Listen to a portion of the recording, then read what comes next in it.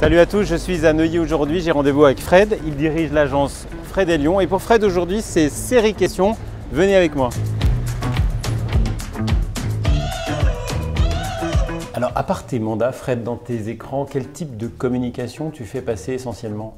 Alors, nous, on a les vidéos de présentation des biens, qui sont assez ben, parfaits pour les écrans dynamiques parce que là, on se rend mieux compte des espaces, des appartements, on se rend mieux compte euh, des volumes, etc. On a également euh, une météo des prix. Donc, on se rend compte que de plus en plus, nous, nos clients sont pas qu'intéressés que par les biens, mais ils veulent Mhm. comprendre et connaître les évolutions du marché immobilier. Donc, tous les mois, on met à jour une météo des prix rue par rue euh, sur les secteurs où nos agences euh, sont positionnées. Puis après, on a aussi du contenu un peu varié. Euh, On essaie de varier les contenus avec euh, parfois des communications sur les événements culturels, sociaux, les fêtes des commerçants par exemple, et sur la vie de quartier en général.